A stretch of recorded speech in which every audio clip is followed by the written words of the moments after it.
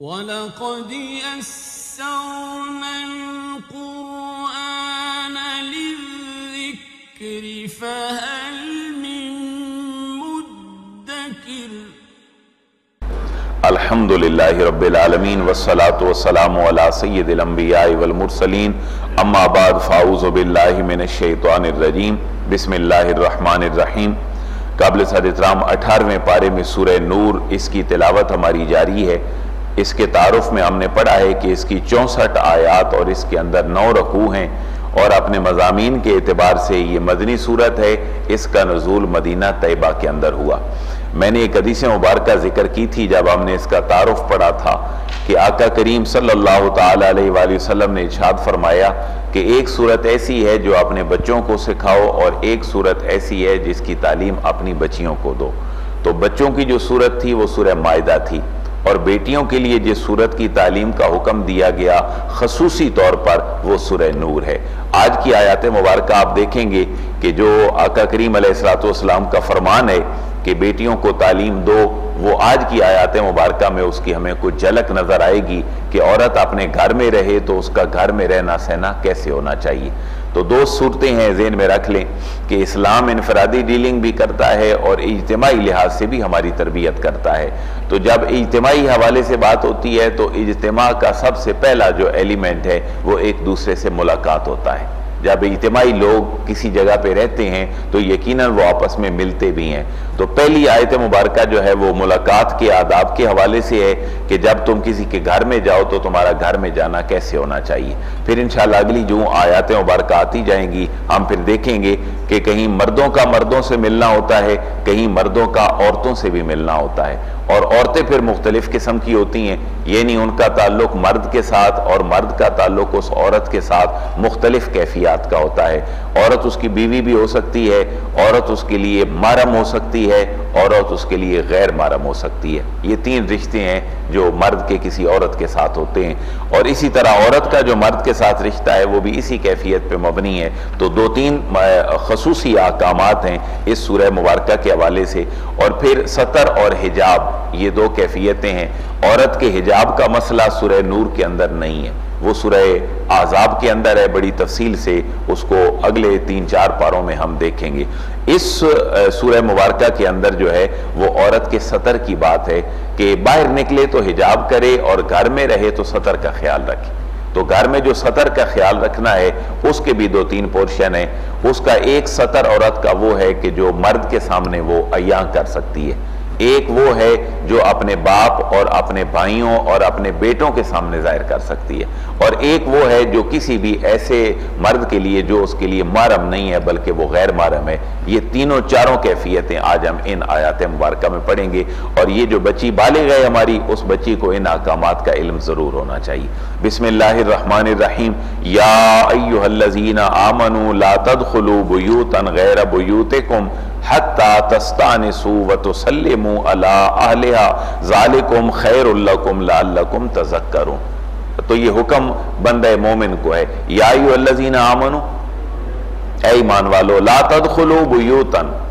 گھروں میں داخل نہ ہوا کرو. غیر بیوتکم، اپنے گھروں کے علاوہ. اپنے گھر میں جاؤ تو ظاہر ہے اس کے یہ عذاب نہیں ہے. یہ گھر کی بات ہے کوئی ایسا روم جو پرائیویسی والا ہو، یہ اس کی بات نہیں ہے، یہ اوورال گھر کی بات ہے۔ ورنہ جو ایسا روم ہے، جو پرائیویٹ روم ہے، جس میں ماں رہتی ہے یا بہن جوان رہتی ہے، تو وہاں بھی کھانس کے جانے کے اور زمین پہ پاؤں مار کے جانے یا کوئی ایسی کیفیت میں جانے کے آداب ہیں تاکہ اس کو پتہ چل جائے کہ کوئی میرے کمرے کے اندر داخل ہونے والا ہے، وہ میرا باپ ہے یا بھائی ہے، تاکہ وہ اپنا سطر اور اپنا جو جسم ہے اس کو ڈھانپ سکے۔ یہ اوورال گھر کی بات ہے۔ یا ایو الذین آمنوا لا تدخلوا بیوتا، اے ایمان والو، گھروں میں داخل نہ ہوا کرو۔ دوسروں کے، غیر بیوتکم سوائے اپنے گھروں کے۔ اپنے گھروں میں تم چلے جایا کرو۔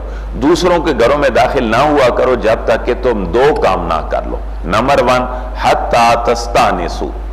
حتی یہاں تک کہ تستانسو۔ یہ اس کے اندر اس کا اردو کا معنی موجود ہے۔ اجازت تو اگر ہوتی تو اس کا معنی تو تھا استیزان اذن لینا۔ یہ ہے تستانسو یعنی بڑا قرآن نے ایک نپات اللہ لفظ چنا ہے کہ جب تم کسی کے گھر میں جاؤ تو سب سے پہلے تستانسو انس حاصل کر لیا کرو۔ انس کیا ہے؟ ایک تعلق قائم ہو جانا یعنی ایفیلیشن ہو جانا۔ آپ کسی کے گھر میں دستک دیں گے، اندر سے آواز آ جائے گی۔ یہ جو کمیونیکیشن سسٹم ڈیولپ ہو گیا ہے، اس کو قرآن نے تستان سو کہا ہے۔ یقیناً ایک آدمی کا ڈر نکل جاتا ہے کہ دروازے پہ کون ہے۔ اور گھر میں خاتون خانہ ہو اور دروازے پہ دستک ہو، تو یقیناً اس کے لیے بھی یہ جو کیفیت ہے، یہ سوچنے والی ہوتی ہے، پتہ نہیں یہ کون آگے ہے۔ تو جب وہ پتہ چل جائے گا السلام علیکم کہنے سے، اپنا پورا تعارف کروانے سے، تو پھر ایک انس جو ہے وہ قائم ہو جائے گا۔ کم از کم اس کو یہ پتہ چل جائے گا کہ دروازے پہ کوئی ہاتھی یا شیر نہیں آیا، بلکہ کوئی انسان آیا ہے۔ جب وہ بولے گا تو اس کی آواز سے اور اس کے تعارف سے مزید آگے پتہ چل جائے گا۔ پھر یہاں پر ایک حدیث مبارکہ ہے جو بڑی سمجھنے والی ہے کہ نبی پاک صلی اللہ علیہ وسلم نے فرمایا کہ اجازت جو تمہارا لینا اور انس قائم کرنا ہے، یہ مبہم سا نہ ہو۔ دروازہ کھٹ کے کون؟ جواب آئے، میں۔ جب نبی پاک صلی اللہ علیہ وسلم نے دستک دی تو صحابی نے پوچھا، من؟ آپ نے پوچھا صحابی کے دستک پہ من کون ہے؟ تو صحابی عرض کرتے ہیں، حضور، آنا۔ جس کا معنی کیا ہے؟ میں ہوں۔ تو نبی پاک صلی اللہ علیہ وسلم نے آزرائے تعجب بھی اور تھوڑے سے غصے کی حالت میں فرمایا، آنا آنا، میں تو میں بھی ہوں۔ تم یہ بتاؤ کہ تم کون ہو؟ تو میں کہنے سے تعارف پورا نہیں ہوتا، بلکہ یہ کہا جائے کہ اپنا نام بول دیا جائے، تاکہ اس کو مکمل تعارف کی کیفیت ہو۔ تو نبی پاک صلی اللہ علیہ وسلم نے فرمایا، میں تو میں بھی ہوں۔ اور ہم کسی کو سمجھانے کے لیے اگر کہیں مزاح میں، تو ہم یہ کہہ دیتے ہیں کہ میں تو بکری ہوتی ہے۔ عموماً ایسے کہا جاتا ہے کہ میں تو بکری ہوتی ہے، تعارف پورا کروایا جائے کہ میں کون ہوں۔ تو پہلا لفظ ہے، حتیٰ تستانسو، تم اجازت نہ لے لو وَتُسَلِّمُوا عَلَىٰ أَهْلِهَا واو کا معنی اور، تسلمو، سلام کر لو اللہ اہلہا۔ گھر کے جو مکین ہیں، ان کے اوپر تم سلام کر لو۔ اب دیکھیں نا، ہم بچوں سے، ہم متاثر ہوتے ہیں ایسے سکولوں سے اور ایسے انسٹیٹیوشن سے کہ جو ہمارے بچوں کو یہ آداب سکھاتے ہیں۔ حالانکہ ہمارے اپنے جو سکول ہیں، بنے بنائے، ہمارا مدرسہ ہوتا ہے، ہمارا گلی محلے کا سکول ہے یا گورنمنٹ کے کوئی سکول ہیں، ہم بچوں کو صرف یہ باتیں بتا دیں تو ہماری بیس روپے میں بچہ پورے مہینے کی ایجوکیشن لے سکتا ہے۔ ہم صرف میری رائے تو یہ ہے جس کو میں ابزرو کر پایا ہوں۔ ہم باہر کے سکولوں میں صرف آداب زندگی چند ایک سکھانے کی بنیاد پر ایٹیکیٹس اور مینر سکھانے کی بنیاد پر ہم اپنے بچوں کی پندرہ سے بیس ہزار روپے فیس پے کرتے ہیں۔ حالانکہ یہ احکامات کہاں لکھیں یہ قرآن میں لکھیں اور یہ ہمیں اپنے بچوں کو اور بچیوں کو یہ باتیں بتانی چاہیے۔ بیٹا، جب کسی گھر میں جائیں تو اجازت لے کر جاتے ہیں۔ اور دوسری بات یہ ہے وہ تو سلم اور اس وقت تک داخل نہ ہو جب تک تم گھر والوں پہ سلام نہ کر لو۔ تو بڑے بنیادی سے دو آداب ہیں۔ ذالکم خیر اللکم لعلکم تذکرون۔ ذالکم خیر اللکم یہ جتنی بھلائیاں سلام لینے کی ہو سکتی تھیں اور اجازت لینے کی، ان کو ایک جملے میں سمو دیا۔ ذالکم خیر اللکم اجازت لے کر جانا، سلام کر کے جانا خیر اللکم یہ تمہارے لیے بہتر ہے۔ لعلکم تذکرون، تاکہ تم اللہ کی حکمتوں میں غور کرو۔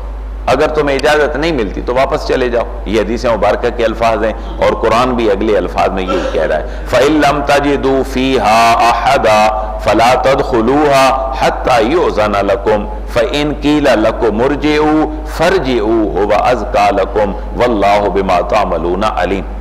فَإِن لَمْ تَجِدُوا فَاکمانا پس ان اگر لم تجدو، تم نہ پاؤ کسی کو فیہا، ان گھروں میں، جن کے گھروں میں تم گئے ہو، احدا کسی کو، تم گئے، تم نے بیل کی دستک دی، گھر میں کوئی نہیں ہے، تو فلا تدخلوہا، ان گھروں کے اندر داخل نہ ہوا کرو۔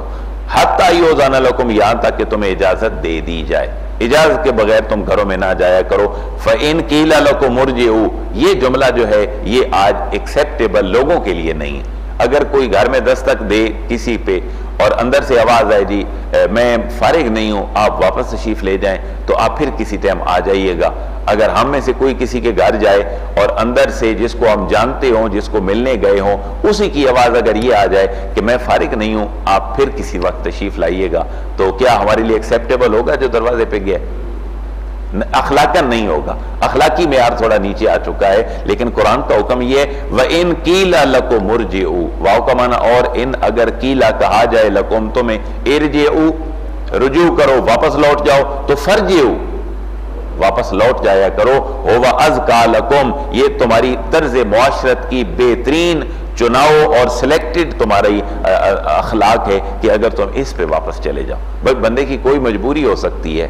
بندہ اس حالت میں ہو سکتا ہے کہ وہ نہیں مل سکتا۔ مثال کے لیے، گھر میں لڑائی ہوئی ہوئی ہے، بیگم کے ساتھ موڈ ٹھیک نہیں ہے۔ اب ایک بندہ آئے گا کوئی مہمان، اس کو کیسے بٹھا کے ٹریٹ کیا جائے گا؟ ابھی تو اس کی فیلنگز ہی ڈیولپ نہیں ہوئی جو بندے کو ویلکم کر سکیں گی۔ اور اگر اندر سے کہہ دیا جائے کہ میں فارغ نہیں ہوں، تو ایسا پاسبل نہیں رہا کہ لوگ اس پہ یقین کریں۔ اور دوسری بات یہ ہے، موبائل اگر دور رسالت معاب میں ہوتا تو پھر وہاں یہ بھی کہہ دیا جاتا کہ اگر تمہیں کو فون کرے اور فون تمہارا اٹینڈ نہ ہو تو تم اس، کوئی بات نہیں، تم پریشان نہ ہوا کرو۔ تم یہ نہ میسج چھوڑ دیا کرو کہ تم افسر بن گئے ہو، اب ہمارا فون ہی نہیں اٹھاتے ہو۔ تو یہ بھی ایک آداب زندگی ہے۔ اگر کسی کو فون کیا جائے اور وہ فون نہ اٹھائے تو کوئی بات نہیں۔ دستک دینے کا حکم تو تین دفعہ ہے۔ آپ تین دفعہ فون کر چھوڑیں۔ اگر بات نہیں بنتی تو کوئی بات نہیں، وہ بیزی ہوگا۔ اور اگر ریسپانسیبل آدمی ہے تو وہ کسی فارغ ٹائم میں میسج یا کال کر کے وہ کال بیک کر لے گا اور پوچھ لے گا۔ تو یہ اس پہ بھی ہم اپلائی کر سکتے ہیں۔ فعین کیلا لکو مرجے اگر تمہیں کہا جائے کہ واپس چلے جاؤ تو فرج واپس چلے جایا کرو۔ ہو از کا یہ بڑا ہی تمہارے لیے پاکیزہ ہے۔ واللہ بما تعملون علیم اور اللہ تبارک و تعالی جو کچھ تم کرتے ہو، اس کو خوب جاننے والا ہے۔ لیسا علیکم جناح ان تدخلوا بیوتا غیر مسکونت فیہا متاع لکم واللہ یعلم ما تبدون وما تکتمون۔ دیکھیں ایک قرآن کتنے ایک عام سے لیول پر آ کر ہمیں ڈیل کر رہا ہے۔ بھئی کوئی ایسا گھر بھی تو ہو سکتا ہے، اللہ جس گھر میں کوئی رہتا نہ ہو، اس کے گھر کے مکین کینیڈا رہتے ہوں، چابی ہمیں دے کر گئے ہوں۔ ہمارا کوئی تھوڑا بہت سامان ان کے اندر پڑا ہو، اللہ پھر کیا حکم ہے؟ اجازت لے کر جائیں۔ اندر تو ہے کوئی نہیں، اجازت کہاں سے ملے گی؟ تو اس کا بھی بڑی وضاحت سے بیان فرما دیا، لیسا علیکم جناحن، لیسا؟ نہیں ہے علیکم تم پر جناحن، کوئی گناہ، کوئی حرج نہیں ہے تمہارے لیے۔ ان تدخلو، کہ تم داخل ہوا کرو بیوتن ایسے گھروں میں غیر مسکونتن، جن میں کسی کی رہائش نہیں ہے، کوئی سکونت پذیر نہیں ہے۔ لیکن فیہا متاع اللکم فیہا جس کے اندر متاع اللکم تمہارا کو ساز و سامان پڑا ہے، تم نے نیا مکان لیا ہے، اس میں ابھی تم شفٹ نہیں ہوئے ہو، تو وہاں کس سے دستک لیتے پھرو گے کس کو دستک دے کے اجازت لیتے پھرو گے ہاں کسی کا گھر ہے اور اس کے ذمہ دار تم ہو، تو پھر بھی تمہارے لیے یہی ہے کہ تم اجازت لیے بغیر ہی جاؤ، کیونکہ وہ تمہارا اپنا گھر ہے۔ واللہ یعلم ما تبدون و تکتمون۔ اور اللہ تبارک و تعالی جانتا ہے، ما تبدون جو تم ظاہر کرتے ہو، و ما تکتمون۔ اور جو کچھ تم چھپاتے ہو۔ اب دیکھیں، اگلا سوال فطرتی طور پر ذہن میں یہ تھا، اللہ گھر جائیں تو اجازت لے کر جائیں، ہم سلام بھی کر کے جائیں۔ اب ویلکم کرنے والا یا دروازہ کھولنے والا اگر مرد نہ ہو، عورت ہو، تو پھر ہم کیا کریں؟ ایسا ہو سکتا ہے کہ جوائنٹ فیملی رہتی ہو، دیور دستک دے اور بھابی اس کا کے دروازہ کھولے۔ تو سوال تھا کہ ان کی ڈیلنگ کیسے ہونی چاہیے؟ یا کوئی بھی خط، عورت ایسی دروازہ کھول رہی ہے کہ جس کے لیے یا تو وہ باپ ہے جو دروازہ کھٹکھٹ آ رہا ہے، یا اس کا شوہر ہے، یا اس کے لیے محرم ہے، یا اس کے لیے غیر محرم ہے، کوئی دوست آ سکتا ہے گھر میں۔ ذات رسالت ماب علیہ السلام کے گھر میں صحابہ کرام تشریف لایا کرتے تھے۔ تو یہ ظاہر ہے، ان میں مارم بھی تھے، ان میں غیر مارم بھی تھے۔ سیدنا صدیق و عمر، عثمان و علی مارم تھے، باقی صحابہ کرام وہ تھے جو ازواج متحرات کے لیے غیر مارم تھے۔ اب اس سوال کا جواب دیا جا رہا ہے کہ عورت جب گھر کے اندر ہو، یہ باہر کی بات نہیں ہے، جب باہر نکلے گی، پھر حجاب کا حکم ہے۔ جب اندر رہے گی تو پھر حجاب نہیں ہے۔ پھر اس کے لیے حکم کیا ہے؟ وہ یہ چند آیات ہیں جن کا حکم دیا گیا۔ کل للمؤمنین یغدو من ابصارہم ویحفظوا فروجہم انہیں الرٹ کر کے بھیجا جا رہا ہے۔ محبوب کل، آپ حکم دے دیجیے، آپ فرما دیجیے، للمؤمنین، مومن مردوں کو، یغدو من ابصارہم۔ یغدو، وہ غد بسر کریں، اپنی آنکھوں کو جھکا کے رکھیں۔ یغدو، وہ نیچا رکھیں۔ من ابصارہم، اپنی آنکھوں کو، اپنی آنکھوں کو وہ نیچا رکھیں۔ اپنی نگاہوں کی وہ حفاظت کریں۔ وَيَحْفَظُوا فُرُوجَهُمْ۔ اگر وہ اپنی نگاہوں کی حفاظت کریں گے، تو ان کی شرمگاہ خود بخود محفوظ ہو جائے گی۔ برائی کا پہلا ایلیمنٹ جو انسان کے اندر آتا ہے، اس کا پہلا مرکز اور میور جو ہے، وہ نگاہ ہے۔ نگاہ کے بعد دل ہے اور دل کے بعد پھر بندے کا انوالو ہو جانا ہے بے ایائی میں۔ جب تم کسی کے گھر جاؤ یا تمہیں باہر کہیں ٹھاکرا ہو جائے، تو اے مومنو تم اپنی نگاہیں نیچی رکھا کرو وہ یکفضو اور حفاظت کیا کرو فروج اپنی شرمگاہوں کی۔ تو یہ حکم جو ہے، یہ عورتوں کو پہلے ہے پردے کا یا مرد کو؟ مرد کو پہلا پردہ ہے۔ ہم ہمیشہ ڈنڈا سوٹا عورت پہ چلاتے ہیں۔ عورت باہر نہیں نکل سکتی، عورت گھر میں نہیں رہ سکتی۔ عورت کے لیے پردہ کرنا ضروری ہے۔ شریعت نے پہلے حکم جو ہے وہ مرد کو دیے اس کی وجہ یہ ہے کہ یہ جو برائی شروع ہوتی ہے، یہ مرد کے دیکھنے سے ہوتی ہے۔ اور اگلی بات ایک اور ہے کہ تقاضے بدل گئے۔ آپ اس سے اتفاق بھی کر سکتے ہیں، آپ کو اتفاق نہ کرنے کا بھی حق ہے۔ یہ میری بات ہے جو میں رض کر رہا ہوں، تقاضے بدل گئے۔ آج عورت جتنی فیلڈ میں آ گئی، اتنی عورت اس وقت فیلڈ میں نہیں تھی جی، جس دور میں قرآن نازل ہو رہا تھا۔ اگر تھی تو وہ جاہلیت کے زمانے کی عورت تھی، وہ مسلم لیڈی نہیں تھی جس کو اللہ احکامات بیان فرما رہا ہے۔ کیونکہ اس کا رہن سہن جو ہے وہ اپنے گھروں میں تھا۔ باقی آج باہر نکل گئی عورت معاشرے میں یہ ایک الگ موضوع ہے کہ اس کو ایسا کرنا چاہیے یا نہیں۔ عورت بازار جا سکتی ہے یا نہیں؟ عورت کوئی باہر جاب کر سکتی ہے یا نہیں؟ اسلام کوئی قدغن نہیں لگاتا عورت کے باہر نکلنے پر، لیکن عورت نے اس کو، اسلام نے حجاب کا حکم دیا ہے۔ اور دوسری بات یہ ہے جب بازار کی بات ہو تو ایسے بازار کیوں نہیں بن سکتے ماڈل بازار کے نام پہ، جن میں صرف خواتین ہی سیل پرچیز کریں؟ عورتوں کی آج طبیعتیں، زینت کے چیزیں بدل گئیں۔ پہلے ایسا نہیں تھا۔ عورت اپنے بازار میں جائے، عورت کا مخصوص بازار ہو، وہاں پر خریداری کے لیے بھی صرف عورت جائے، تو کیا کہیں گے؟ اسلام اس کو جائز قرار دیتا ہے یا نہ جائے؟ اس کو جائز قرار دیتا ہے۔ وہ اپنی شاپنگ کر سکتی ہے، وہ اتوار بازار میں جا سکتی ہے، لیکن وہاں پر عورتیں ہی ڈیل کریں تو اس کے لیے بہت بہتر ہے۔ جیسے میں نے جمعہ پہ عرض کیا کہ اسلام معاشی لحاظ سے ہمیں آگے بڑھانا چاہتا ہے۔ آج رسک بڑھ گئے۔ چوری کا خطرہ زیادہ ہو گیا۔ انشورنس تم کرواؤ گے تو اس میں انٹرسٹ ہے۔ آپ انشورنس کا متبادل ڈھونڈ لو جو تمہارے گھر کی، مکان کی، تمہارے بچوں کی شادی کی، تمہارے بچوں کی جو ایجوکیشن ہے، اس کے بارے میں تمہیں ایک ایسی پلاننگ دے دے جیسے میرج پلان اور یہ آپ کے باقی بیمہ انشورنس پالیسی میں۔ اسلام یہ کہہ رہا ہے، یہ ضرور کرو، تمہیں استحقاق ہے، لیکن اتنا بھی تو کرو کہ جو اسلام نے کہا ہے، اس کی روشنی کے مطابق کرو۔ پھر ہر چیز کا متبادل ہے، انشورنس ہے تو تکافل دے دیا، باقی پھر آگے چلے تو وہ انشاءاللہ مزید ہمارا جمعہ آگے ایک دو اسی موضوع پہ ہوں گے۔ کہہ دیجیے مومنوں کو کہ وہ نگاہیں نیچی رکھیں وَيَحْفَظُوا فُرُوجَهُمْ اور اپنی شرمگاہوں کی حفاظت کریں۔ ذَالِكَ اَذْقَى لَهُمْ یہ جو ہے نگاہ نیچی رکھنا اور پھر شرمگاہوں کا محفوظ کرنا اور پھر شرمگاہوں کا محفوظ ہو جانا۔ اَذْقَى لَهُمْ یہ ان کے لیے بڑا پاکیزہ ہے۔ یہ ان کے لیے انتہائی پاکیزہ ہے۔ کیوں؟ آپ دیکھیں، ایک مرد نے نگاہ نیچی کر لی، عورت کو اس نے نہیں دیکھا۔ عورت متاثر ہوئی، عورت نے اپنے بچوں کو بھی بتایا، گھر بھی۔ آج ہم گئے تھے وہاں، اللہ نے اس مرد کی نگاہ میں بڑی شرم رکھی ہے، تو معاشرے کے لوگوں کی تربیت ہونے لگ پڑی۔ اور صاف ایک بندے کے بیان ہوئے، تو یہاں پر فکری اور عملی تربیت شروع ہو گئی۔ بھائی، بڑے بڑے تو ایسے ہوا کرتے ہیں۔ مہربان اور شفیق لوگ تو ایسے ہوا کرتے ہیں کہ کسی کی ماں بہن جائے تو آنکھ اٹھا کے نہیں دیکھتے۔ میاں صاحب کا ایک شعر ہے میرے ذہن میں نہیں آ رہا کہ جس کے گھر میں جائیں تو وہاں پر کیسے رہا کریں۔ وہ بڑا پیارا ایک شعر ہے۔ پچھلے دنوں میں سن رہا تھا کہ یوٹیوب پہ کہ کسی کے گھر جائیں تو وہاں پر اپنی نگاہیں کیسے رکھیں۔ بڑا پیارا سا وہ دل کو لبھانے والا ان کا کلام تھا۔ تو یہ بھی دیکھیں قرآن کی شرح تھی۔ جو قرآن ہمارے ہمارے لیے نازل ہوا ہے۔ ہر زمانے کے صوفی شاعر بزرگ نے اس کو اپنے انداز میں ہم تک پہنچایا۔ علامہ اقبال نے بھی پہنچایا۔ علامہ اقبال کی بھی اشعار مفسرین نے لکھے ہیں، وہ آگے میں پردے میں ذکر کر دیتا ہوں۔ ان اللہ خبیر بما یسنون ان اللہ بے شک اللہ تبارک و تعالی خبیر، خوب آگاہ ہے بما یسنون ان کاموں سے جو وہ کر رہے ہیں۔ اب نگاہ نیچی نہیں رکھتے اور شرمگاہوں کو محفوظ نہیں بناتے۔ اللہ ان کے کاموں کو دیکھ رہا ہے۔ ہوگا کیا؟ یہ ان کے خاندان میں چیزیں لوٹ کر آ جائیں گی۔ کسی کی ماں بہن کو آنکھ اٹھا کے دیکھیں گے، اس کی عزت پہ ہاتھ ڈالیں گے تو ٹیٹ فار ٹیٹ ہوگا، یہی چیزیں ان کے گھر میں واپس آ جائیں گی۔ اور ہم، میں پنجابی کی ایک کہاوت اور سنتے تھے کہ جس سانپ کو مارے اور اس کا جوڑا رہ جائے، وہ انسان کو ضرور ڈستا ہے۔ اور جس جو آدمی زنا کو قرض میں دے دیتا ہے، وہ قرض ضرور ان کی نسلوں میں لوٹ کر آتا ہے۔ تو یہ جو کچھ کر رہے ہیں، اللہ ان سے خوب آگاہ ہے، لیکن اللہ نے توبہ کا دروازہ کھلا رکھا ہے۔ قیامت تک اور گلے میں غرغرے کی کیفیت آ جانے تک ان سارے گناہوں کی معافی اللہ نے رکھی ہے۔ دوسرا حکم جی عورت کے لیے جو مرد کے لیے گزر چکا، اور اس سے مراد سطر یعنی باڈی کا ڈھانپنا ہے، نہ کہ باہر نکلنے کا حکم ہے۔ پہلا حکم محبوب عورتوں کو دے دیجیے، یہ ہے سورہ نور کس کو سکھاؤ؟ اپنی بیٹیوں کو۔ یہ ان کے لیے احکامات ہیں۔ وَقُلْ لِلْمُؤْمِنَاتِ واؤ کا معنی اور محبوب کل فرما دیجیے، حکم دے دیجیے۔ المؤمنات، مومن عورتوں کو یغددن من ابصارہن۔ وہی حکم جو مرد کو تھا۔ وہاں پر تھا یغدو من ابصارہم۔ یہاں ہے یغددن من ابصارہن، کیونکہ وہاں پر ٹینس چینج ہو گیا، وہاں مذکر تھا، یہاں مونس آ گیا۔ عورتوں کو چاہیے کہ وہ جھکا کے رکھیں، من ابصارہن، اپنی اپنی نگاہیں جھکا کر رکھیں۔ نمبر ایک دوسرا حکم، وَيَحْفَظْنَا فُرُوجَهُنَّ۔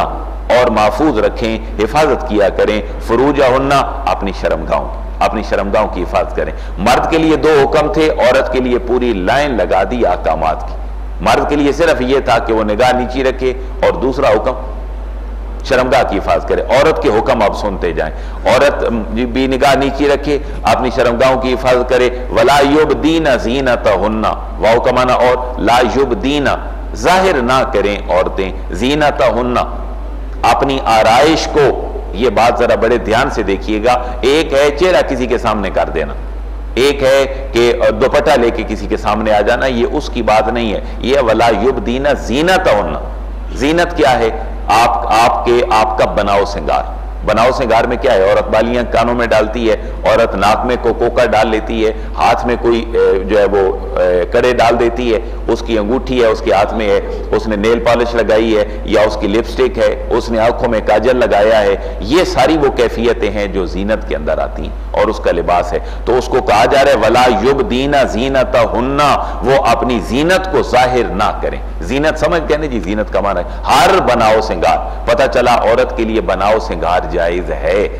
لیکن کچھ ایسی چیزیں ہیں کہ جن پہ شریعت نے قدغن لگا دی۔ ہے دو چیزوں کے واضح الفاظ ہیں شریعت میں، عورت نہ کرے۔ ایک تو پلکنگ نہ کرے۔ اپنے جو ابرو ہیں، ان کو کاٹے نہ۔ کیونکہ اگر وہ نکاب کی حالت میں بھی ہوگی، تو یہ چیز اس کی دوسروں تک پہنچے گی۔ اور دوسری بات یہ ہے کہ وہ کوئی ایسی سٹیچنگ اس کے بالوں میں یا باڈی میں کہ جو انسانوں کے علاوہ کسی چیز سے ہو۔ جیسے آج بھی دیکھیں تو بال عموماً لگتے ہیں۔ بال انسانوں کے بال ہی اگر لگائے جائیں تو کوئی حرج نہیں۔ لیکن اگر لمبے بال عورت کے سر میں آرٹیفیشل طریقے سے ویگ کی شکل میں آپریٹ کر کے وہ لگا دیے جائیں جو انسان کے بال نہیں ہیں، تو یہ اس کے لیے ٹھیک نہیں۔ یہ دو باتیں نہ لعن اللہ ہو و رسول ہو اللہ رسول اللہ نے فرمائی ہے بال نوچنے والیوں پر، بال نوچوانے والیوں پر۔ اور جوڑا باندھنے کے حوالے سے بھی ایک حدیث مبارکہ ہے کہ عورت ایک بختی اونٹ کی طرح جیسے اونٹ کی کوہان نکلی ہے، یوں چل کر مردوں کے سامنے نہ جائے، ورنہ وہ دعوت دینے والی ہے ایک برائی کو جس کا سبب ایک عورت معاشرے میں بن رہی ہے۔ ولا یبدین زینتہن اور نہ ظاہر کیا کریں اپنی آرائش کو الا ما ظاہر منہا سوائے اس کے ما ظاہر منہا جو خود بخود ظاہر ہو جائے۔ سوائے اس کے جو اب خود بخود کیا ظاہر ہو سکتا ہے جی؟ اس نے چادر بھاری سی لی ہے، جو سورہ عذاب کے الفاظ ہیں کہ عورت جب باہر نکلے تو بھاری چادر لے لیا کرے۔ اب بھاری چادر میں اگر اس نے کسی بندے کو کوئی چیز پکڑانی ہے، دروازے پہ کوئی سائل آ گیا۔ اور یہ بڑے انٹرسٹنگ بات ہے کہ صحابہ کرام نبی پاک صلی اللہ علیہ وسلم کے گھر میں کیوں آتے تھے؟ ان کا آنا کس حوالے سے ہوتا تھا؟ نبی پاک صلی اللہ علیہ وسلم سے ملنے آتے تھے۔ یا کوئی کھانے پینے کی چیز ہے دربار رسالت میں تو دے دی جائے۔ تین دنوں سے گھر میں کچھ نہیں پکا۔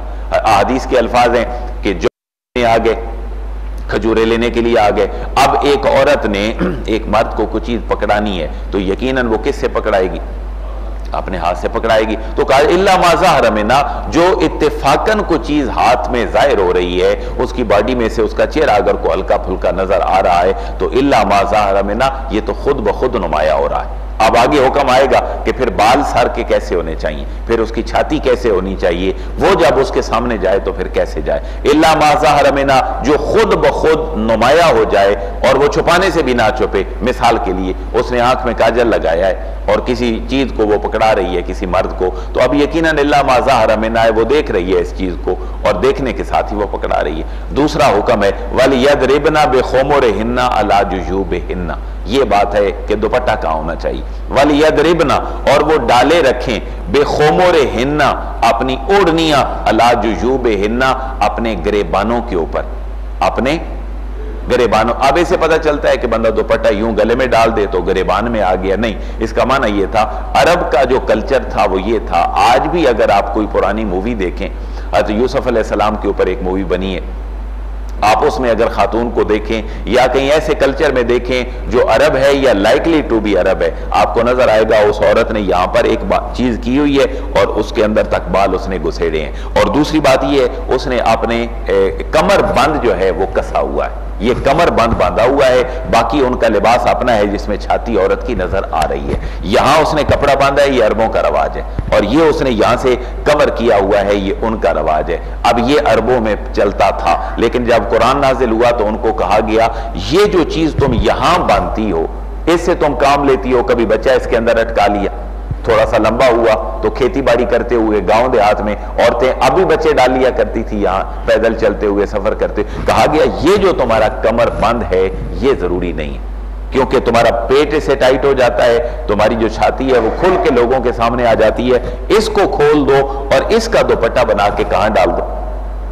گلے میں ڈال دو۔ یہ گلے کا معنی ہے۔ اس گلے کو یوں نہ سمجھا جائے کہ کوئی دوپٹہ سر پہ کرتا تھا تو شریعت نے کہا، اس کو اتار کے کہاں ڈال دو؟ گلے میں ڈال دو۔ اور یہاں ایک اور بات ذہن میں رکھیں کہ دوپٹہ کرنے کا جو تصور ہے، وہ بھی یہ نہ ہو کہ یہاں سے ہو اور یہاں سے ہی گلے میں آ جائے۔ یہ بھی ایک فیشن ہے کہ دوپٹہ ہوا اور وہ جو دوپٹہ ہے، وہ صرف یہاں سے گزار کر پیچھے کر دیا گیا۔ یہ بھی ایک رواج چلتا ہے۔ اور پھر اس کے اوپر اگر عورت چادر کر لیتی ہے، تو بالکل ٹھیک ہے۔ وہ جو چھوٹا سا دوپٹہ ہے اس کا، وہ اس کا چہرہ کور کر لے گا، وہ تھوڑا سا نکاب اور حجاب بھی بن جائے گا، اس کے اوپر ایک بڑی چادر آ جائے گی تو پھر کوئی بات نہیں ہے، پھر اس کا دوپٹہ عموماً کہاں رہے گا؟ گلے میں رہے گا، وہ جو چھوٹا سا دوپٹہ ہے، وہ عموماً کہاں رہے گا جی؟ گلے میں رہے گا، پھر اس کے اوپر چادر آ جائے، پھر کوئی بات نہیں۔ لیکن اگر صرف ایک ہی دوپٹہ ہو اور وہ صرف اس میں ہو کہ گلے کی کیفیت میں ہو، تو پھر شریعت اس کو جائز نہیں کہہ رہی۔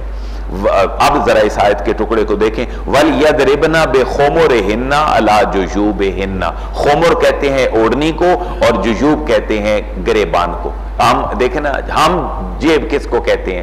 اس جیب کو، جس میں پیسے ڈالتے ہیں۔ لیکن یہ جیوب جو ہے، یہ بنیادی طور پر کس کو کہا گیا ہے؟ گریبان کو کہا گیا ہے۔ تو اس عورتوں کو چاہیے کہ وہ ڈالے رہیں اپنی اوڑنیاں اپنے گریبانوں پر۔ ولا یبدینا اور ظاہر نہ ہونے دیں۔ زینتہنہ اپنی آرائش کو۔ اب یہ گھر کے دروازے سے بات اندر چل گئی ہے۔ وہ باہر کی بات تھی۔ جب کسی کو ڈیلنگ ہو تو کیسے ہو؟ اللہ ما ظاہر منا اب یہ ہے کہ وہ اپنی زینت کو بالکل ظاہر نہ کریں۔ یہ گھر کے ذرا حالات ہیں۔ ان کو ذرا ڈیپلی دیکھ لیجیے گا۔ تین چار لائنوں میں۔ اپنی آرائش کو ظاہر نہ کریں۔ اللہ لبعولتہن اللہ مگر لبعولتہن لام کا معنی کے لیے واسطے۔ بعول عربی میں کہتے ہیں شوہر کو۔ بعولتہن اپنے یعنی ہر قسم کی زینت عورت اگر کر سکتی ہے تو وہ کس کے لیے؟ اپنے شوہر کے لیے۔ تو آج آج بھی یہ رواج بدل گیا۔ عورت بازار جاتی ہے تو میک اپ کر کے جاتی ہے۔ لیکن عورت گھر میں رہے تو شاید شوہر کے لیے ایسی تیار نہ ہو۔ یہ ایک المیہ ہے۔ یہ معاشرے کی بات نہیں ہونی چاہیے۔ اس کے اندر ابیسیت انسان اور ایک ریجڈ قسم کا مسلمان ہم اگر نہ بنے بینگ ہیومن اگر ہم یہ دیکھیں کہ عورت باہر خوشبو لگا کر جا رہی ہے، تو یہ اس کے لیے ٹھیک نہیں ہے۔ کیونکہ نئی پاک وسلم کا یہ بھی فرمان ہے، عورت اگر خوشبو لگا کر مردوں، غیر مردوں کے درمیان سے گزرتی ہے، تو وہ گیا جہنم کی طرف اپنا پل بنا رہی ہے۔ امام غزالی نے، میں نے پہلی دفعہ بات پڑھی آئی سے کو دو ڈھائی مہینے پہلے، احیاء العلوم میں میں جمعے پہ جب چالیس حدیثیں تیار کر رہا تھا، امام غزالی نے بڑی انٹرسٹنگ بات لکھی کہ مرد اور عورت کی خوشبو میں فرق ہوتا ہے۔ مرد کی خوشبو وہ ہوتی ہے جس جو نظر نہیں آتی، لیکن اس کی خوشبو آتی ہے۔ عورت کی خوشبو وہ ہے جو نظر آتی ہے، لیکن خوشبو نہیں آتی۔ اب اس میں وہ سفید قسم کی خوشبو بھی ملتی ہے۔ آپ عموماً دیکھتے ہیں ڈیڈ باڈی کو بھی لگاتے ہیں، کستوری ٹیپ شاید وہ کہتے ہیں۔ ایک تو ہے اس کا وجود ہے، ہلکی ہلکی خوشبو بھی ہے۔ لیکن مرد کی خوشبو وہ ہے جو نظر نہ آئے۔ جیسے آج کل کے دور میں اتر آ گئے اور یہ چیزیں آ گئیں۔ اس میں الکول ہونا نہ ہونا یہ ایک الگ میٹر ہے، لیکن جتنا الکول موجود ہوتا ہے وہ ایکسیپٹیبل ہے۔ وہ اتنا زیادہ کوالٹی اور کوانٹٹی میں نہیں ہے۔ جیسے ادویات میں چیزیں استعمال ہوتی ہیں تو یہ بنا بر ضرورت استعمال ہوتی ہیں۔ لیکن مرد کی خوشبو وہ ہے جو نظر نہ آئے لیکن اس کی خوشبو آئے۔ عورت کی خوشبو وہ ہے جو نظر آئے لیکن اس کے اندر خوشبو موجود نہ ہو۔ تاکہ اچھا یہ بھی ایک بات ذہن میں رکھیں۔ عورت جب عدت میں ہوتی تھی تو وہ ایک سپیشل قسم کی اپنے آپ کو خوشبو لگا کے رکھتی تھی۔ یہ عربوں کے الفاظ سے عربوں کی روایت تھی۔ وہ جو خوشبو کا ذکر ہے نا حدیث میں، وہ ہے ورس واؤ، رے اور سین۔ وہ ورس کیا ہے میں اس تک نہیں پہنچ سکا کہ وہ ورس چیز کیا تھی۔ لیکن ہمیں حدیث سے یہ پتا چلتا ہے کہ جب عورت عدت میں ہوتی تھی تو وہ اپنے چہرے پر ورس لگا کے رکھتی تھی۔ یہ ہوتا کیا تھا؟ یہ بنیادی طور پر ایک سائن ہوتا تھا کہ یہ عورت جو ہے، یہ عدت کے دوران ہے اور اس کی حیا کا خیال رکھا جائے اور اس کو رشتے کا پیغام نہ بھیجا جائے۔ تو اس سے بھی یہ بات میچ کرتی ہے کہ اگر وہ ورس ہے اور چہرے پہ لگی ہے تو یقیناً وہ دوسرے کو نظر آ رہی ہے یا نہیں آ رہی۔ خواتین گھر میں آئیں، کوئی آؤٹ سائڈر ہم مرد کی تو بات ہی نہیں کرتے۔ گھر میں آئیں، انہوں نے عورت کو دیکھا۔ ممکن ہے اس کو کہیں آپ کی بیٹی کی شادی نہیں ہوئی۔ یہ جو آپ کے گھر میں بیٹی بیٹھی ہے، ماشاءاللہ بہت خوبصورت ہے۔ یہ تو اس کی شادی نہیں ہوئی۔ ہم اس کی شادی کا، ہمارا بیٹا بڑا خوبصورت ہے۔ ہم اس کی شادی کا کوئی اہتمام کر دیں۔ تو بتایا نہیں، جس نے ورس لگایا ہو، وہ عدت کے اندر ہے اور اس کو شادی کا پیغام مرد تو مرد ہے، عورت بھی اگر گھر میں آ جائے تو وہ بھی اس کو نکاح اور شادی کا پیغام نہیں بھیج سکتی۔ تو وہاں سے بھی یہ پتا چلتا ہے کہ جو ورس ہے وہ لگتا تھا تو نظر آتا تھا لیکن اس کی خوشبو نہیں آتی تھی۔ تو یہ عورت کے لیے حکم ہے۔ سب سے پہلا حکم مرد شوہر کے لیے کہ وہ اپنی زینت ظاہر نہیں کر سکتی اللہ لبعولت ہننا مگر اپنے شوہروں کے لیے۔ اور دوسرا حکم ہے، او آبا ہننا یا پھر اپنے آبا، باپ کے لیے۔ اپنے باپ کے لیے وہ ظاہر اچھا دیکھیں، پہلے شوہر ہے، پھر باپ ہے۔ اس سے ہمیں یہ بھی سمجھ لینا چاہیے کہ بڑا انٹیگریٹڈلی ذکر کیا گیا ان کو کہ شوہر کے لیے جو ظاہر کر سکتی ہے، وہ اپنے باپ کے لیے بھی ظاہر نہیں کر سکتی۔ ٹھیک ہو گیا نا؟ جو شوہر کے لیے ظاہر کر سکتی ہے، اب خاتون زینت کو وہ اپنے باپ کے سامنے نہیں کر سکتی، کیونکہ شوہر، باپ اور غیر محرم، یہ تین کیفیتیں ہیں۔ ایک جگہ پہ جو ہے وہ شوہر کھڑا ہے، ایک جگہ پہ اس کے بھائی، اس کا باپ، اس کا یہ لوگ کھڑے ہیں، اور ایک پھر وہ ہے جو غیر محرم ہے۔ ان تینوں کے ساتھ عورت کی ترتیب شریعت نے مختلف بیان کی ہے۔ مگر اپنے شوہروں کے لیے زینت ظاہر کر سکتی ہیں، او آبا یا اپنے باپوں کے لیے، او آبائے بولت ہننا یا پھر آبائے بولت ہننا اپنے سسر کے لیے، جو شوہر کا باپ ہے، اس کے سامنے ظاہر کر سکتی ہے۔ او ابنائے ہننا یا اپنے بیٹوں کے لیے ظاہر کر سکتی ہے۔ ظاہر بیٹا ایک قدرتی اور فطرتی شرم و حیا ہے۔ او ابنائے بولت ہننا یہ بھی سمجھنے والی بات ہے۔ ابنا، بیٹا بولت ہننا اپنے شوہروں کے بیٹوں پہ ظاہر کر سکتی ہے۔ وہ کون ہے شور کی شادی ہوئی تھی کہیں اور پہلے وہاں سے اس کا بیٹا تھا۔ لیکن اس کی بیوی فوت ہو گئی۔ اب یہ عورت شادی ہو کے اس کے گھر چلی گئی۔ اب اس کا اس بیٹے کے لیے کیا طریقہ کار ہوگا جو اس کے شور کا پچھلی بیوی سے ہے؟ گھر میں تو ایک میں ہی رہ رہے تو کہا گیا، اب نائب اولت ہے نا، اپنے خامدوں کے بیٹوں کے اوپر بھی وہ قدر ضرورت جو ہے وہ اپنی زینت کو ظاہر کر سکتی ہے کیونکہ اسی گھر میں انہوں نے رہنا ہے اور وہی کھانا پکا کے اس بیٹے کو بھی دینا ہے۔ اس بیٹے کا گھر میں آمد و رفت ہے۔ اس کو اپنے گھر کے معاملات، جملہ، اس کی کنسلٹیشن اپنی ماں سے چاہیے۔ جو اس کی نئی ماں ہے۔ اور اخوان ہننا یا اپنے بھائیوں کے لیے، اخوان المسلمون، اسی سے تنظیم تھی کہ مسلمانوں کی جماعت اور بھائی۔ اور اخوان ہننا یا اپنے بھائیوں کے لیے ظاہر کر سکتی ہیں۔ اور بنی اخوان ہننا یا بنی بیٹے۔ اخوان ہننا اپنے بھائیوں کے بیٹے۔ یعنی کون؟ بتیجے اور بنی اخوات ہننا یا اپنے بانجوں کے لیے۔ بنی بیٹے، اخوات ہننا اپنی بہنوں کے بیٹے۔ وہ کیا لگے جی؟ بانجے، بانجوں کے اوپر ظاہر کر سکتی ہیں۔ اور نساء یا اپنی ہم مذہب عورتوں پر ظاہر کر سکتی ہیں۔ یہ بھی بات یہاں دیکھیں کہ نبی پاک صلی اللہ علیہ وسلم نے منع فرمایا کہ ایک غیر مسلم عورت، ایک مسلم عورت کے سارے باڈی پارٹس نہیں دیکھ سکتی۔ میں ہوتا ہے رواج پنڈوں دیہاتوں میں، میری کمر پہ شوڑا لگا دینا یہ عموماً رواج گھروں میں ادھر ادھر گاؤں پنڈ دیہات میں چلتے ہیں۔ کہا گیا، او نساء اپنی ہم مذہب عورتوں کے اوپر وہ ظاہر کر سکتی ہے، لیکن غیر مرم عورت کے اوپر اور غیر مسلم عورت کے اوپر وہ اپنی باڈی پارٹس کو ظاہر نہیں کر سکتی۔ کیوں؟ کہ یہ بھی اس کو برائی میں ملوث کرنے کے لیے۔ مثال کے طور پر میں عرض کر دیتا ہوں کیسے جو مفسرین نے بات لکھی۔ اس نے کہا، آپ تو بہت خوبصورت ہیں۔ آپ کی باڈی ماشاءاللہ بہت خوبصورت ہے۔ یہ بات جب نکلے گی تو عورت کے ذہن میں ایک تھرڈ عورت فتنہ ڈال دے گی، اس کی تعریف بیان کر کے۔ جی اب مجھے کیا کرنا چاہیے؟ اب جب میری تعریف ہو گئی تو یقیناً وہ اس کو کیا کرے گی؟ ایکسپوز کرنے کی کوشش کرے گی۔ اگر اللہ نے مجھے خوبصورت بنایا ہے تو مجھے اس کو انجوائے کرنا چاہیے۔ یوں فکری بیماری سے انسان عملی بیماری کی طرف چلا جائے گا۔ آپ اس پہ اب وہ حدیث ذہن میں لائیں۔ نبی پاک صلی اللہ علیہ وسلم نے فرمایا، اگر کوئی کسی کی تعریف اس کا منہ رکھنے کے لیے لیے کرتا ہے اور مستحق نہیں ہے اور اس کی تعریف کرتا ہے۔ پھر اللہ کا عرش کانپ جاتا ہے جب کوئی کسی کی جھوٹی تعریف کرتا ہے۔ اور آپ دیکھ لیں، ساری دنیا ہمارے مذہبی پروگراموں میں امیر شریعت بھی بنی ہوتی ہے، پیر طریقت بھی بنی ہوتی ہے، اور وہ پتہ نہیں کہاں سے کہاں بنی ہوتی ہے۔ تو اللہ کا عرش ہل جاتا ہے مذہب کے نام پر بھی کہ ایک غیر مستحق آدمی ہے جس کو دنیا کے جہان کے مذہب کے سارے القابات دے دیے گئے۔ دنیاوی معاملات بھی ہیں او مملکت ایمان ہونا یا اپنی باندیوں پر وہ ظاہر کر سکتی ہیں۔ پہلے لوڈیوں کا روایت تھا، گھر میں کام کرنے والی ہے، تو لوڈیوں پر ظاہر کر سکتی ہیں۔ اوت تابعین غیر اولل اربت من الرجا اوت تابعین یہ تو تابعین تو ویسے ٹرم ہے جس نے صحابی کو ایمان کی حالت میں دیکھا ہو، لیکن یہاں اپنے لٹرل میننگ میں ہے۔ او تابعین یا ایسے خدمت گزار نوکروں پر غیر اولیل اربت من الرجال۔ یہ جملہ سمجھنے والا ہے۔ مردوں میں سے ایسے لوگ جو شادی کے خواہش مند ہی نہ ہوں۔ ان کے سامنے اگر کوئی چیز ظاہر ہو جائے تو کوئی بات نہیں۔ وہ کون کون سے لوگ ہیں جو مرد بھی ہیں اور شادی کے خواہش مند بھی نہیں ہیں؟ اس کی مثال مفسرین نے دی ہے۔ وہ خسی آدمی بھی ہو سکتا ہے۔ نامرد آدمی ہو سکتا ہے۔ وہ ایک ایسا ہے جو انتہائی جو ہے وہ بڑھاپے کی حالت میں چلا گیا۔ ہے ایٹی ایٹی فائیو کراس کر گیا۔ تو اب یہ شادی کے خواہش مند نہیں رہے۔ بزرگی کے عالم میں آگئے۔ لہٰذا اب یہ کہا گیا کہ ان کے لیے کوئی حرج نہیں۔ اگر ان کے اوپر کوئی زینت ظاہر ہو بھی جاتی ہے تو۔ اوتف للذین لم یظہروا علی عورات النساء۔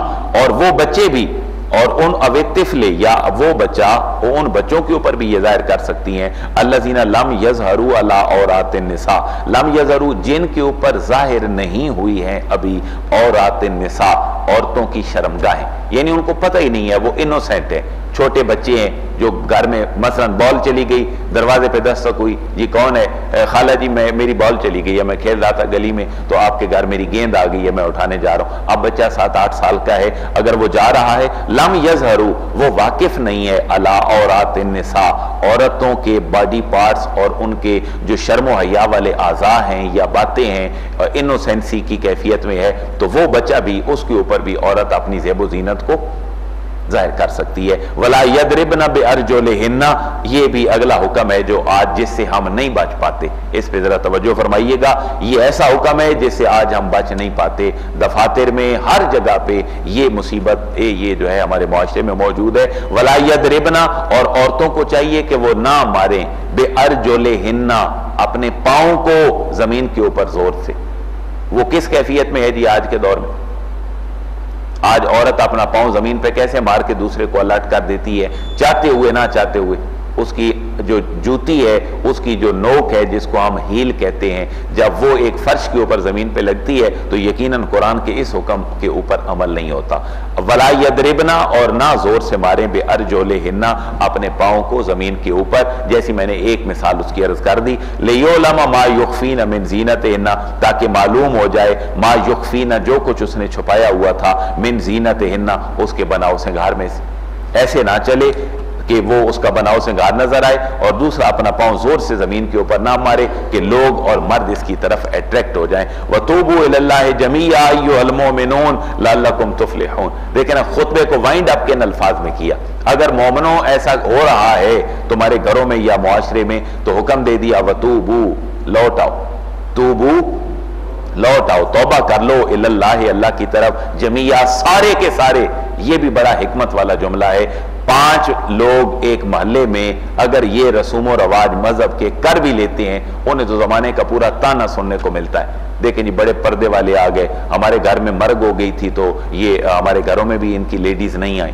تو یہ جمی آ کہا، یہ تمہارا ماحول بہتر تب ہو سکے گا جب یہ کام تم سارے کرو۔ گے جب پورے کا پورا پینڈ اور بستی یہ کام کرے گی، تو پھر تمہارے لیے فائدہ مند ہے۔ ورنہ دو چار گھر تو بیچارے ساری عمر تانا سنتے رہیں گے کہ پتہ نہیں کہ یہ کس ڈارک ایجز کے لوگ ہیں، پتھر کے زمانے کے رہنے والے لوگ ہیں کہ ان کا تو کوئی آنا جانا ہی نہیں ہے کسی کے گھر میں۔ ایو المومنون، دیکھیں نا کتنا پیارا محبت بھرا جملہ ہے۔ اللہ کی طرف لوٹ آؤ سارے۔ ایو المومنون، اے ایمان والو، لعلکم تفلحون، تاکہ تم فلاح۔ دیکھیں جی فلاح تو اسی کے اندر ہے۔ فلاح جو اللہ نے کہا ہے، اسی کے اندر ہے۔ فلاح اس کے اندر نہیں ہے جو یورپ نے ہمیں کہا ہے۔ علامہ اقبال نے بڑی پیاری بات کی ہے۔ علامہ اقبال یہ کہتے ہیں، فارسی کے ان کے اشعار ہیں، اگر پندے درویش پذیری کہ اگر مجھ درویش سے کوئی نصیحت حاصل کرنا چاہتے ہو، تو وہ کیا ہے؟ سنو۔ علامہ کہتے ہیں، ہزار امت بمیرت تو نمیری۔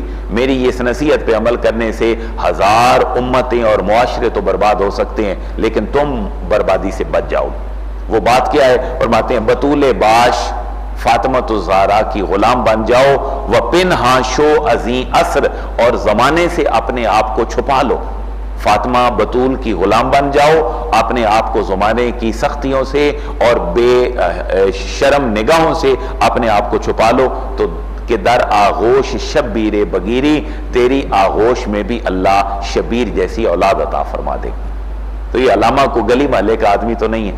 علامہ اقبال نے تو پوری دنیا دیکھی ہے۔ علامہ تصوف کا بھی حامی ہے اور تصوف کے لیے دو دھاری تلوار بھی ہیں۔ علماء کا حامی بھی ہے، علماء کے لیے دو دھاری تلوار بھی ہے۔ اور علامہ وہ آدمی ہے جو گھر سے نکلا ہے تو خواجہ نظام الدین اولیاء کے در اقدس پہ حاضری دے کے دعا مانگ کے انیس سو پانچ سے آٹھ تک وہ پڑھنے کے لیے باہر گئے ہیں اور جب انیس سو آٹھ میں پڑھ کے واپس آئے ہیں تو پہلا شعر امت کو کیا سنایا ہے؟ خیرہ نہ کر سکا، مجھے جلوہ دانش فرنگ اور سرما ہے میری آنکھ کا خاک مدینہ و نجف۔ کہ میں یورپ کی چکا چون جو ہیں روشنیاں، میں ان سے متاثر نہیں ہوا، کیونکہ میری آنکھ میں نجف اور مدینہ طیبہ کی مٹی کا سرما لگا ہوا تھا۔ تو دیکھیں، علامہ جیسا بندہ کتنا اپریشیٹ کر رہا ہے۔ اللہ ہمیں عمل کی اور اپنی فکری اصلاح کی توفیق نصیب فرمائے۔ اللہ ہمیں سمجھ کی اور عمل کی توفیق عطا فرمائے۔ الحمدللہ رب العالمین۔